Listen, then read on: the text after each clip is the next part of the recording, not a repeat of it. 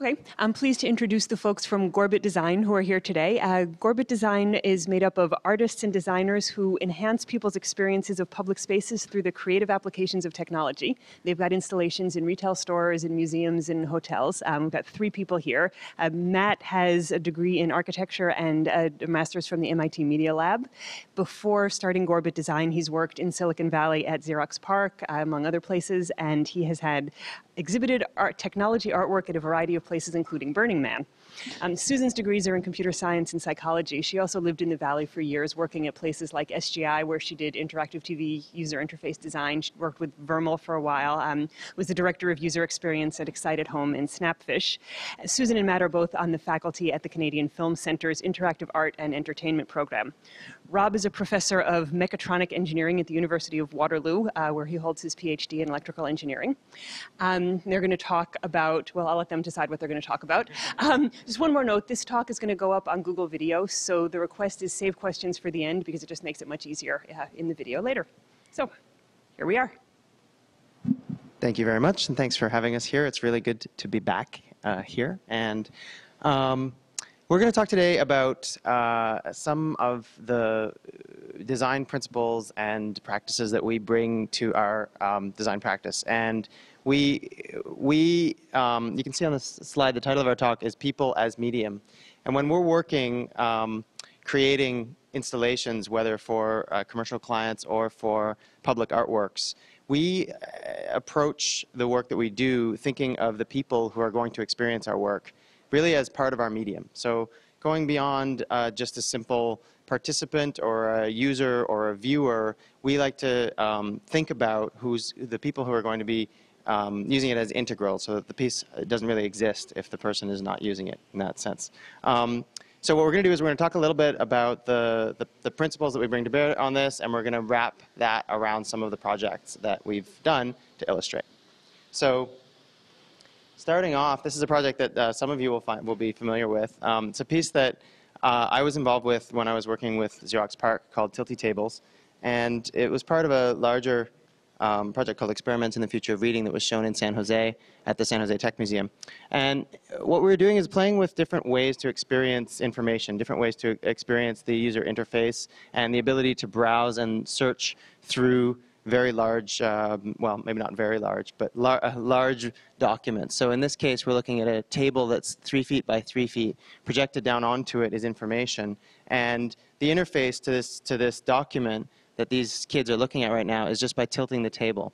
So as you tilt the table, we take advantage of uh, people's familiarity with, with gravity and with the way the world works to do something that just makes sense, which is you tilt the table in one direction, the information flows in that direction. You tilt the table in another direction, the information flows in that direction. So experiments like this where we're starting to play with um, people's preconceived notions of how the world works and bringing that to bear on the information world so we can break out of our sort of traditional uh, keyboard mouse monitor um, monitor paradigms. And another piece that we did for that show is this one called The Reading Wall, which I'll show a quick video of as well. The Reading Wall is a, um, it's three 16-foot walls. Let's see if we can get that to play a little better. And on the walls are um, plasma monitors. Back up. Try playing the video. That doesn't look like it's going to play for some reason. So on these walls are these plasma screens. And there was information printed on the walls, but also information on the screens. And the information on the screens is dynamic, um, changing. In the context of a museum, when you put dynamic changing uh, information on a screen, often it gets lost because of the way people visit uh, a museum and the way um, the sort of the context in which people will experience it. If you walk up to a screen and you see things changing, you don't necessarily know where you are in the stream of the video, right? But in this case, what we did was we synchronized the uh, movement on the screen to the movement, the physical position of the screen on the wall. So as people move the screen from the left-hand side across to the right-hand side, you move through the story.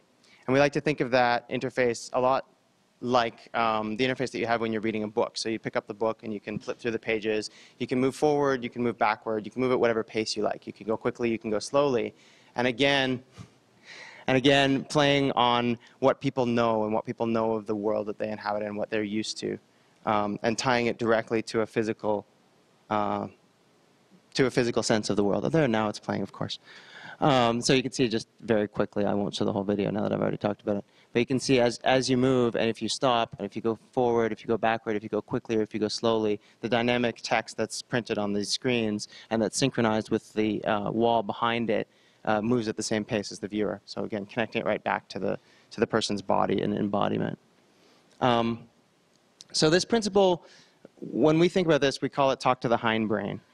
When we make designs, we like to think about dealing with people's uh, brains and not necessarily presenting them with a lot of information that they have to cogitate about, right? You don't want to have instructions. You don't want to have um, mappings of click here and slide this and first do this and then do that. But really, can you talk to people on a level that that is the subconscious brain and the brain that we're sort of used to dealing with in the real world and in the embodied world? And that's sort of this first principle that we bring to our work.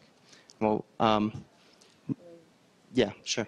Uh, just it's just that, that we we all spend many many many years learning about the physical world and understanding how the physical world works and and how moving things and how gravity works and and and getting there. And when you are in a purely digital world sometimes you're you're very disconnected from all of that learning and knowledge. So taking things back into a tangible interface that people can sort of approach and and use their their physical bodies to interact with and and understand sort of gets back into this sort of visceral way in which we really experience the world around us and uses the digital information as an enhancement to that experience rather than than as rather than taking away from that experience. Um, so another example of this that um, uh, of, of, using this uh, sort of our, our bodily senses is um, a concept called ambient media, which is explored at the at the MIT, MIT Media Lab and also at Xerox PARC. Um, and a lot of um, sort of attention has been paid to this idea of taking information and putting it into our environments. This piece is a piece that we did exploring that concept for Herman Miller. Um, they launched a, a uh, line of furniture in, in 2000 called Herman Miller Red. And it was a line of sort of um, very designed furniture, but aimed at fast-moving, fast-growing companies. Um, it was sold online. It was they created a um, an e-commerce site where they were selling this furniture. They got a lot of really good reviews. It was very successful. And then they opened up a store, a showroom, a physical showroom in uh, Manhattan and they commissioned this piece, which is sort of a, an information artwork that serves both as decor in their space, but also as a way of monitoring in this very ambient way the activity that's occurring uh, on their website. So I'm going to uh, just launch a quick demo of what we created for them. So what we did for the installation was a custom screen that took um, the shape of their logo, which was this uh, sort of screen-based screen shape that you see here, and it, um, just make sure it's running here. Once again.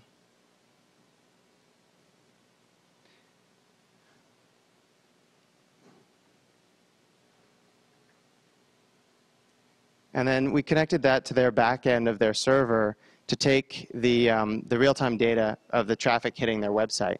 And we could represent that graphically in the store and very large on this 10-foot screen. So what you'll see on here is a little bit, it's a little bit like an ecosystem of what was happening as people would arrive on their site and surf around the various pages of their site. These little black dots that you see are the number of dots is sort of tied to the number of visitors that they have. The frequency with which the dots slide around is tied to the frequency of page requests. And then um, the system is constantly sort of adjusting to how much information or how much data it has by zooming in, zooming out, and just giving, trying to give a visceral sense for is there, are there a lot of people here or not that many people here. And when you see a slideshow like this of uh, product, that represented a purchase. So when somebody made a purchase, you would see the, pur the purchased items that they had just bought, and you would see it just uh, dynamically in real time. There's like an eight-minute delay because we were processing the data and bringing it down in chunks. And the system did a few other things just to, just to reinforce this idea that the data is there, but it's not um, you know, literal data on a spreadsheet. What we would do is uh, we would, every once in a while throughout the course of the day, we would change the color and cycle through the colors that, that uh, they had in their sort of branding. We would move through the five different colors that they had to try to put like little landmarks in the course of the day so that the people who are working in the store, who are actually the same people who are running the website, they would be able to say, oh, you know what, it's really funny that that thing is always kind of very quiet when it's yellow, which is mapped to, you know, in the mid-afternoon after lunch, nobody's ever on our site. But we got a lot of traffic when it's green in the morning, and maybe we should change the way we do things in that sense. So trying to take these notions from the physical world and move them into, um, into something that's really displaying um, techno technological, uh, data-driven um, information. So.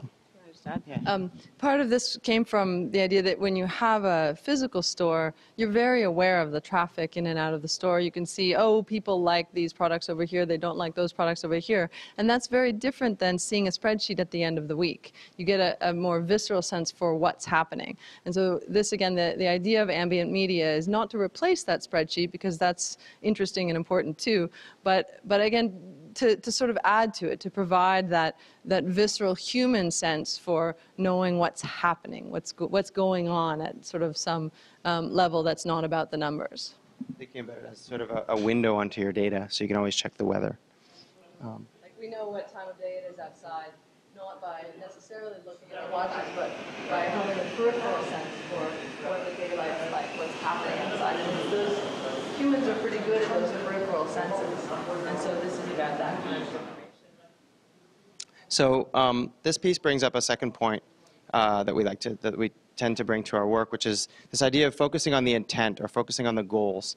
And in this case, um, the intent was all about this uh, bridge between their their uh, business, which was a successful business running in the virtual world, and this new thing they were doing about the physical world. So we started with the premise that there is a problem to be solved here. So though we create something that we call artwork, it all starts in a sort of a design, with a design goal, and trying to solve that design goal, or at least address the goals of the space or the goals of our clients. Mm -hmm. um, um, sure. Okay, so the, the next piece um, pieces I'll talk about are at a space um, that's the Drake Hotel in Toronto. The, the Drake is a very interesting space. Um, it's in an area of town that is sort of on the rise, um, was very run down and is, and is getting there. Um, just to give you an idea, they, they bought the building for $800,000 and then spent 6 million renovating it. So the, the, the, but it was, a, it was an old sort of flop house before the renovation was done. And the owner of the hotel really wanted to keep that sort of sense of history, sense of neighborhood. There were murals painted on the walls that were, were 50 years old and, and trying to kind of, um, unlike a usual hotel where, where you wipe everything clean every night and pretend that nobody else has ever stayed here, he wanted to have a sense of the community in there because the, the space is actually, there are only 20 hotel rooms and the rest of it is, it's more about the public spaces than it is about the hotel rooms. So the materials that were chosen by the architects are also all about showing the community impact over time. Like the, the, the bar is painted with black over red so it will get scuffs as people kick it and they'll be visible and things, materials that would rust, um, stuff like that. So, so we took a look at this building and his goals in terms of the community and created two pieces that are an exploration of what would happen if the building was aware of its inhabitants and could poke a little bit of that awareness out of the walls so we could see it. So um, this first piece I'll talk about is, is threshold memory. Um, it's, it's in the doorway. It's sort of inset into the fire door that is between the main lobby and the sort of main lounge restaurant. And many, many people who go into the hotel um, pass through that doorway to get where they're going.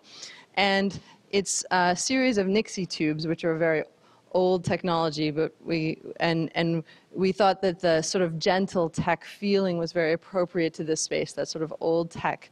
Um, they all started at zero the day the Drake opened, and every time someone comes through the door from the lobby into the lounge, not the other direction, um, the the lower digit counts up by one.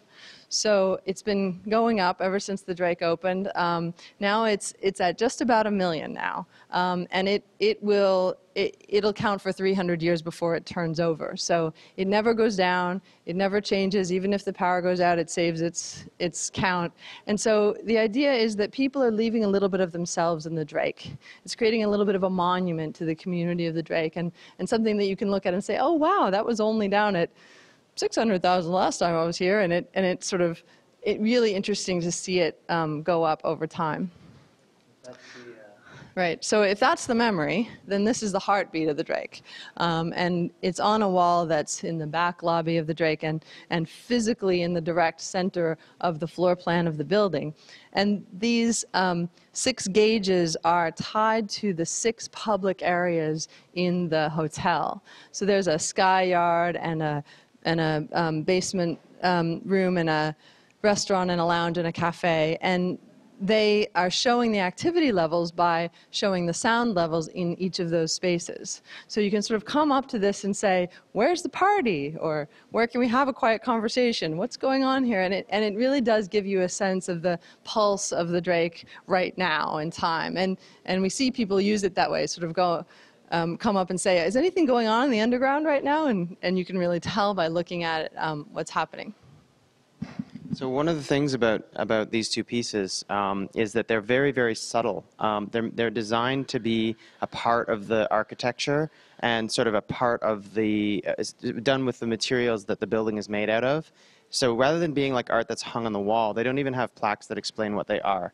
And part of the intent there is that you can go to this building many, many times without even necessarily noticing them. But once you do notice them, and once you find out what they are and how they work, then you know something.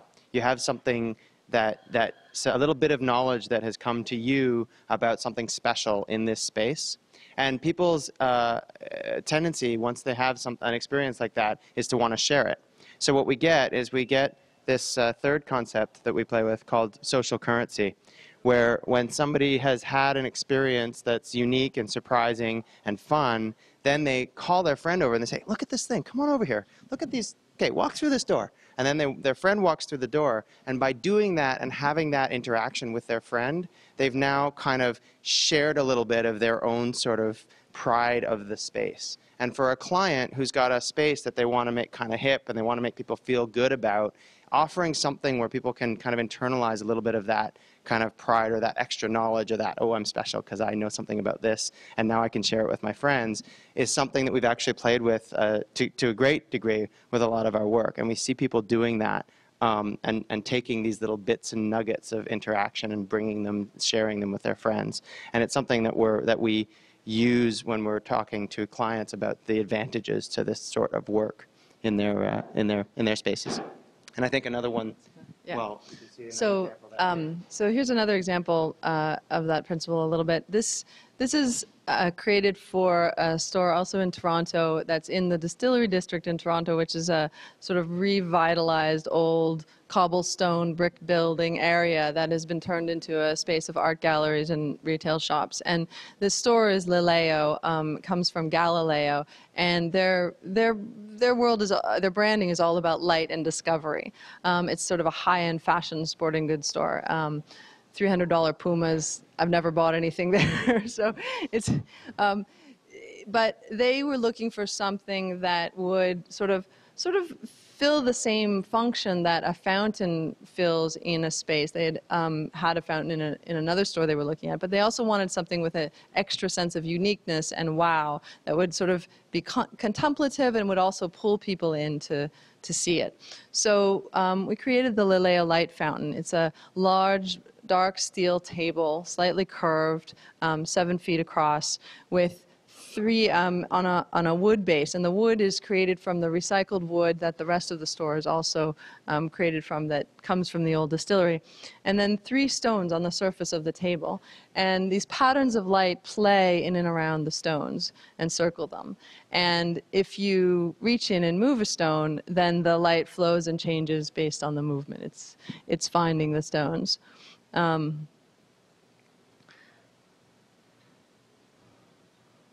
so there's an example.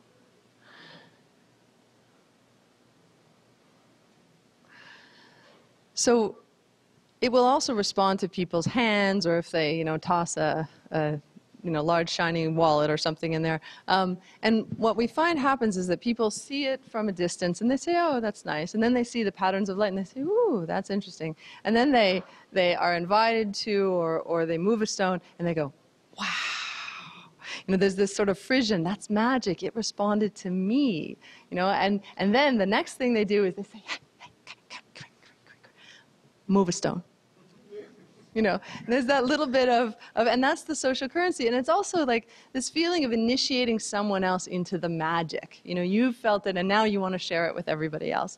And so that that feeling that, that frisson you know gets people past the and even even the people who um, the salespeople in the store they don't have the sort of normal interaction with the customers how can i help you? You know they say would you like to play with the fountain you know, and they're they're sort of so beyond that and and and into a, an interaction that's that's at a at a much more real level. Um, one of the the things to notice about this piece, I mean, one of the things people always sort of say, "How did you do that?" You know, well, we trained the light very carefully. You know, it's all that. Um, but but one of the important things to us about this piece is also that the technology, um, the delicate stuff, is all up in the ceiling.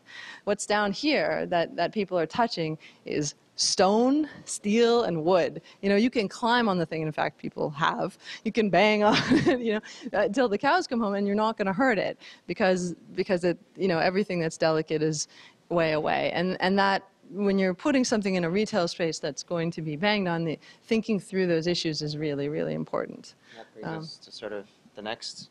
I think that sort of brings us to the next um, of our principles here, which is that uh, we, we treat all of our work uses technology, but we really treat technology as a means to an end. So where a lot of interactive artwork or artwork that uses technology is about the technology itself, if you take the other principles we've been talking about, like focusing on, on, on intent and really speaking to the user at a low level, then you can build an end that you're trying to achieve and then pick appropriate technology, whether it's 1960s Nixie tubes or uh, state-of-the-art you know, vision tracking software or whatever but it's really not about the technology. And in fact, most of the people who use the Lileo light fountain never even realize that it's just a standard DLP projector stuck in the ceiling. They think it's something really magical because of the um, context in which they experience it.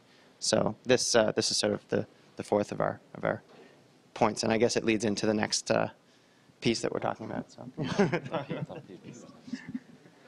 um, this is um, this is our the most recent uh, piece that Gorbet Design is currently working on. Um, it's still a project in the works. Um, it's a commission for a large-scale outdoor permanent dynamic sculpture for the region of Cambridge in uh, Ontario, west of Toronto. And the reason for the commission of this piece was uh, in response to the construction of a new, uh, by the region, of a new emergency medical services facility. And this, this building is uh, one of the first LEED rated, gold LEED rated buildings in North America, so this is an environmental standard. And they're using this novel solar technology that is made by a, a local company called Spheral Solar.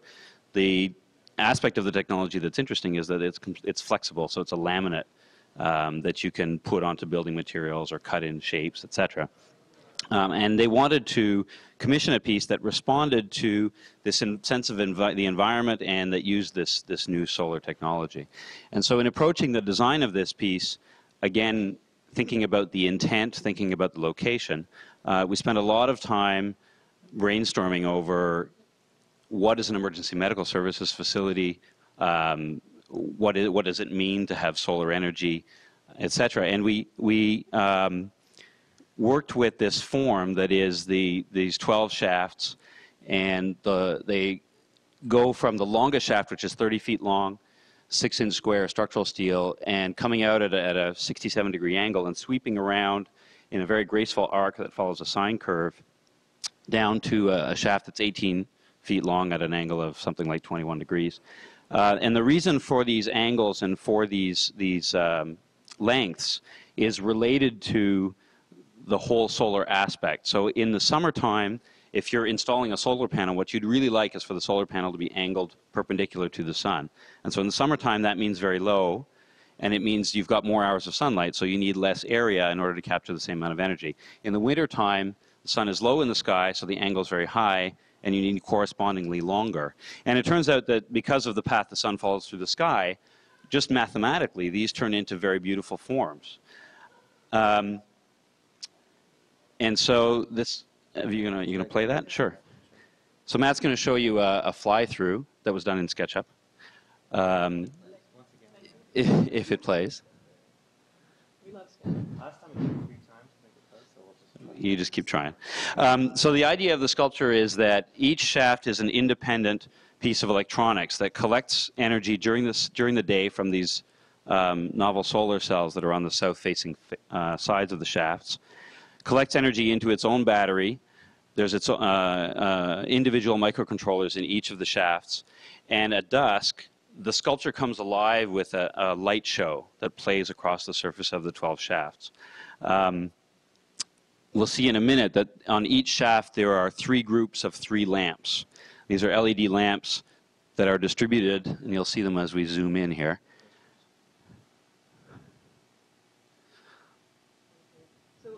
One of the one of the interesting things about this site is that there there are there is no pedestrian traffic. It's all cars, trucks. It's a very industrial space. So they've commissioned a piece of public art for a space that's not really seen by a whole heck of a lot of public. And so that was one of the things that we really looked at when we were um, trying to decide what was important about this piece. And one of our guiding principles became public art should be public. Um, so we really thought hard about how to do that and um, wound up thinking about interactivity at a distance and interactivity over, over the web um, for this kind of piece. And Rob will talk in a second about how that works. But um, so you're seeing it uh, as as you would from a car, sort of driving by. Well, then we take off into an airplane, but but and then flying. But but but but driving by, um, we wanted the, the forms, the, although the shafts don't move, the form is very dynamic if you're moving by it in a car, because they, they, blend against each other. Um, and that was something that was important to us too, that even the daytime aspect of the piece hints at its dynamism and, and activity. So. And so um, you can see from this mock-up that each of the shafts has uh, lights inset along the length and there are actually three groups of three lamps in each shaft. And the number three essentially because that's the minimum required to give a sense of, of movement, of, of direction. Um, and users will log on to a website and interact with the piece in this, uh, using this interface. Um, where again, we're essentially going back to sine waves. There's basically a sine wave that plays across the x and y directions of this, this set of shafts. And the user can control the frequency and the relative phase between the sine waves um, as well as a, a, randomness, which we call scatter. And the flare control, which controls the, um, the relative phase inside each of the groups, smaller groups of three. So you can get this sort of flaring uh, movement as well. Um, and the way we think about this is that people will uh, log in and, and uh, put a little bit of themselves into the piece. It's a, it's a bit like composing. You know, it's a kind of a light composition tool. Uh, when they submit their designs, it goes into a queue that gets played that evening. And over the course of time, we will aggregate the data so that the, um, and at the end of the show, in, in a given evening, uh, once individual designs have been played, the piece will revert to a kind of aggregate that represents all of the different contributions of the community. So it really becomes a community piece.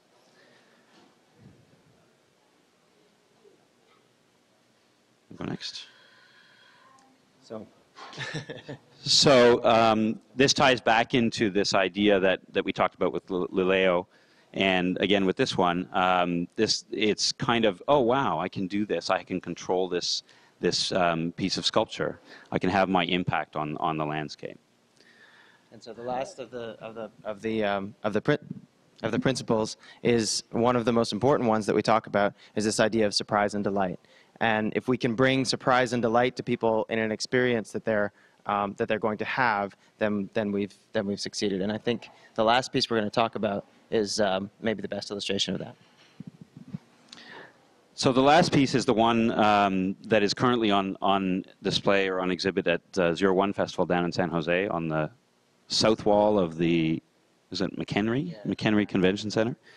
Um, this was a piece that was developed in 2002 in response to a public call for um, a con contemporary art forum where the theme was power to the people. And so Matt and Susan and I sat down and we sort of brainstormed what is it, what is power, what does giving power to people mean? Um, and the theme was chosen in, it, the, the festival takes place in the city called Kitchener in, the, in, in uh, southwestern Ontario. And the theme was chosen because that year, 2002, was the 100th anniversary of the introduction of public power into that area. Um, and so we came up with this idea of taking the kind of iconic tool of corporate communication, the marquee, and combining it with the ubiquitous um, symbol of the, the light switch and the light bulb. Everybody knows that interface, and so this is again talking to the hindbrain. Um, and creating this marquee that we would put on the face of City Hall for 10 days, 24 7, that anybody could come up and flip switches and put their, their message up onto City Hall. Um, this is another piece where uh, surprise and delight is great. Kids come up and they're, oh, daddy, daddy, can I put my name on City Hall? Can I please put my name on City Hall? And uh, you get an incredible cross section of responses from different cross sections of people. Um, so we have the kids playing with it. We have uh, adolescents playing with it, putting up messages of, of love, or you know, Jake loves Sarah, and and I love you, and um, you get the street kids playing with it, putting up other kinds of messages. Um, do we have punks? Um, we get the the nightlife playing with it, um, and all of these different sort of classes and, and cross sections of the population come, and they contribute their own little piece to um, the experience of, of the work. And um, the other aspect of this is that we've redone it in 2004 in Toronto on the, on the front of the Drake Hotel, in fact. Um, so again, this is a different context. Now we're in a, a, an urban center on a hip street. It's no longer a public building, it's a private building. Um, and the population is different. Uh, and so instead of seeing the same kinds of messages that we saw with in Kitchener, we see much more thought out, much more profound kinds of messages. People being a lot more clever.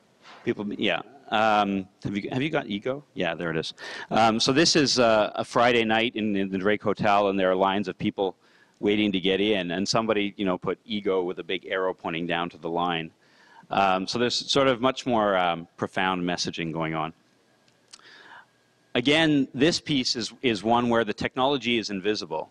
Um, in through two showings, both in Toronto and in Kitchener, we had very, very few people wonder how it worked, um, which, which I find amazing. I mean, that, that, that's our intent, um, but I still find it pretty amazing. Um, because we're obviously not switching 120 volts with, with regular light switches out on the, on the street side. Um, you know, this, it rains on this thing, so that wouldn't be good. Um, but it doesn't matter. But it didn't matter to the people. In fact, there's a really good story. Can I tell us? Yeah. Um, there's a really good story about when we showed it in Toronto because when we showed it in Kitchener, it was a wired piece. So there was a, a serial cable that essentially ran from the switch panel 500 feet up to the display. Um, when we showed it in Toronto, we were having a lot of trouble getting permits to run that cable over Queen Street, which is where streetcars run. We were also quite concerned about electrical noise from the streetcar passing underneath. And so we decided to do it wireless. Um, Matt was negotiating with the people from the city to get uh, this permit.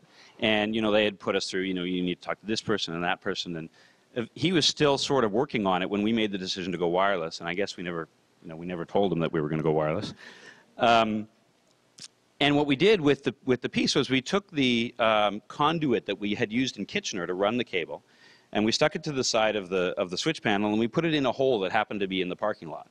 So you have this, this image, you know, so that it satisfies people's kind of need to understand that there's something there. Um, and Matt got this frantic phone call one day during the show from the guy at, from the city. Um, and he said, uh, he said, uh, well, uh, congratulations. It looks like you have your piece up.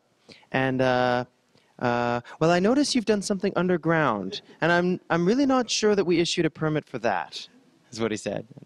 And, uh, yeah, so this just this just speaks again to people's perceptions and kind of um, in this in this case we went a li- we did a little bit too good in trying to satisfy what they were expecting to see from the piece. Uh, just to say something else about it, sort of being being up and around for that long. One one of the things that we've been um, really interested to find is that when we first put the piece up in Kitchener, we were really kind of nervous about it getting vandalized because here it is, this big gray thing, looks like a perfect place to tag, and and it's just plywood and switches, and is it going to be too delicate? And and we we it was up and it was up and everything was fine, and we started talking to some of the folks that were hanging out down there 24 hours a day, and and we said, you know, is this something which. They said, no, man, this is the greatest thing that ever happened. Are you kidding? If someone hurts it, I'll break their kneecaps. You know, they, they, they got feeling really protective and possessive of it. And, and the same thing then happened in Toronto. It was up for a month, 24 hours a day, out on this city street in the middle of, you know, downtown. And, and the taggers would tag the bus stop that was right next to it, but we would go by at two in the morning. So there was this one guy, this filth, right up on the on the bus stop, and we'd see filth up in the lights.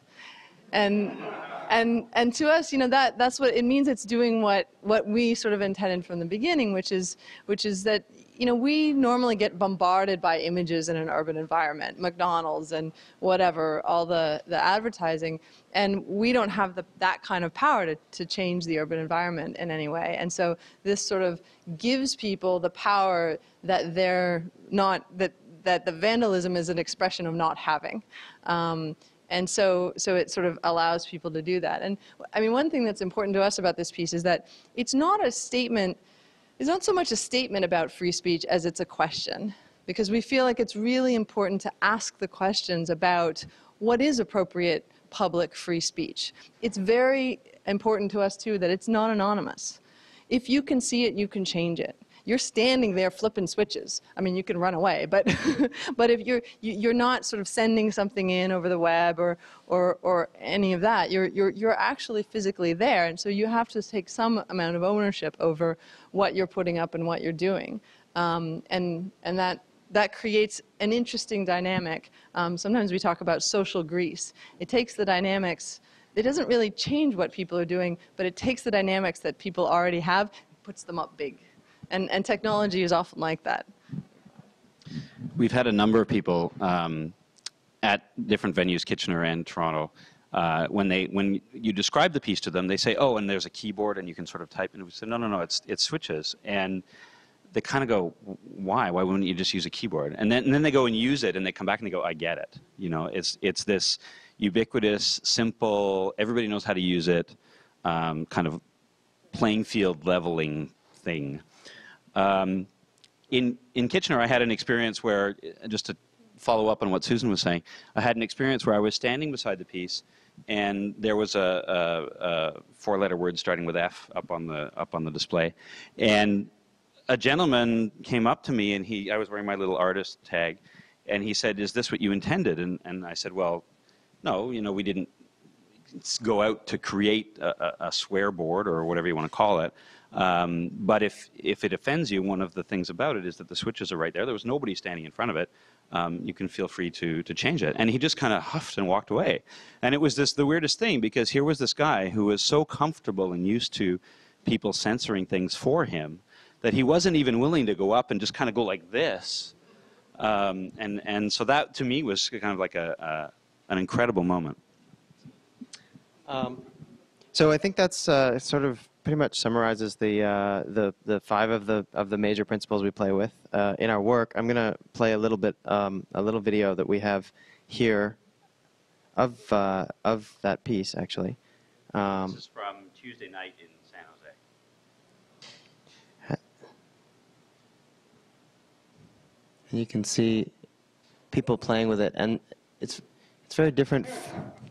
And we wanted to put that up there because of that. So somebody put Google up there in the middle of the night. 9:34. I don't know. Tuesday evening, someone from Google was down there. It might have been one of you guys. There you go. And thank you very much for your attention. For We'd be welcome. And we welcome any questions on um, Any- design principles or on the technology that we use or how we did certain things. But He had those light poles, and he, he sort of designed it so that the shortest pole would get on the shortest pole would get the same amount of energy in December as the tallest pole would. Oh, wait, no, backwards, right? The shortest one That's is. the idea. You got it, yeah. Do all of them like? Does the sun produce the same amount all over the? At, at, at that distance from the sun, yes. I mean, they're, they're at different angles. So they're at different angles. So, and here you see it in Google Earth. Um, they're at different angles. So in the um, winter time, the tall shaft may collect more energy than the short shaft. And you're also going to get variation from clouds going over, etc. Um, and so one of the things about the piece is that shafts will die out at different times during the evening. So they're not, as the show goes on, they basically plays the show until the batteries run out. And so you will lose different shafts at different times. Um, and again, the, how long the show lasts is therefore another kind of reflection of the health of the community in the sense that that's how, it's reflective of how much sunlight the community got that, that day. Um, and there was something else I wanted to say about this piece, which I forgot. but this, um, this uh, uh, Google Earth, I was thinking uh, when we were talking about social currency, Google Earth is another area where that I, I'm, I think that probably happens a lot. People discover things and then kind of say, "Hey, you know, come and see this," and tag things and send their tags out. That's true. That plays with the same concept. Same idea of uh, insider knowledge or social currency. Other questions? How do you feel about the monetization of social currency, with something like YouTube or Google Video, where you, we rely on drawing people in and then make a buck off of it? Well, in, a- in a sense, we, I mean, that's our business model in a way. I mean, because we do, that's how we sell our, that's how, that's one of the things that we use to sell our, our work, right? When we talk to clients and they say, well, why, what's in it for me? Why do I want artwork in my space? And what kind of artwork? And, and the fact that they even call it artwork is sort of, you know, sometimes we don't. Sometimes it's just design. Um, and it's, it's getting increasingly so, which, which we like. Um, but, but to be able to say that, that, you know, for someone like this retail store and their fountain, to be able to see a year later people dragging their friends in off the street into the store so that they can show them this thing and share that experience with them. And oh, yes, by the way, now they're in your store, and yes, they're looking around at your merchandise, and yes, they may buy something, is, is kind of proof, you know, in the pudding. So can't argue with monetization. Yeah, especially as artists. Um, I mean, that's one of the things that, that we, I guess, struggle with. I don't know if that's the right word, but, but this line between art and design and this question of, of what is art and what is design and where are your principles and all that sort of thing. I mean, for us, you know, we're about enhancing experience of public spaces through the creative application of technology. And one of the things that we really like to have is a strong context. You know, we talk about intent here, we talk about sort of speaking to the context. And a strong brand is, is just as interesting and strong to us as, as a site, you know, that, that has its own limitations and, and, and possibilities. So, so yeah, art, design, I, I don't know. You, you know, I, I mean, it, it's all about experience. And, and, and to tell you the truth, when you're doing something for a client, generally the resources are a little different than when you're doing something that's, that's sort of a, pub, a public art project. Um, so sometimes you can do more interesting things and, and, and in fact enhance people's experience in ways that you might not have the opportunity to in, in a, in a non-commercial environment. So, so uh, you know, yeah.